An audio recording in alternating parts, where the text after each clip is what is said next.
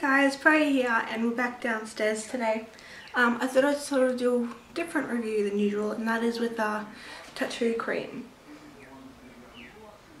I have used this one many many many times before. Um, with my first tattoo I got, I got this cream with it.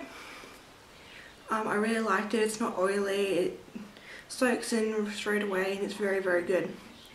Um, I have tried different ones because after I ran out of this one after about four or five tattoos. Lasted a long time. But um, no, it was really, really, really good. Um, it lasted me from a big one as well. But no, um, I find it the best that I've found so far and I have tried quite a few.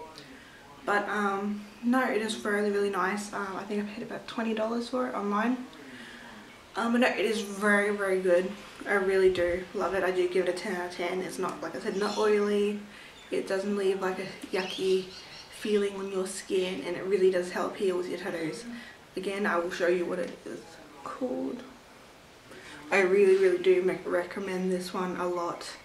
It is amazing. I know this is a different um, review than most people do, but it's something I really do trust and use a lot.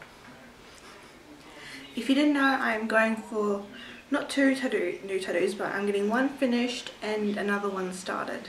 I'm getting my Howl's Moving Castle, my big, big one on my leg, finished finally after almost a year. Um, and I'm getting a new one started on my calf and it is an R2-D2 because I really do love Star Wars and R2-D2 is my favourite character from Star Wars of all time. But thank you for watching this really short review. I'm sorry it's so short, but this thing is just amazing and I really do recommend it. Talk to you guys later.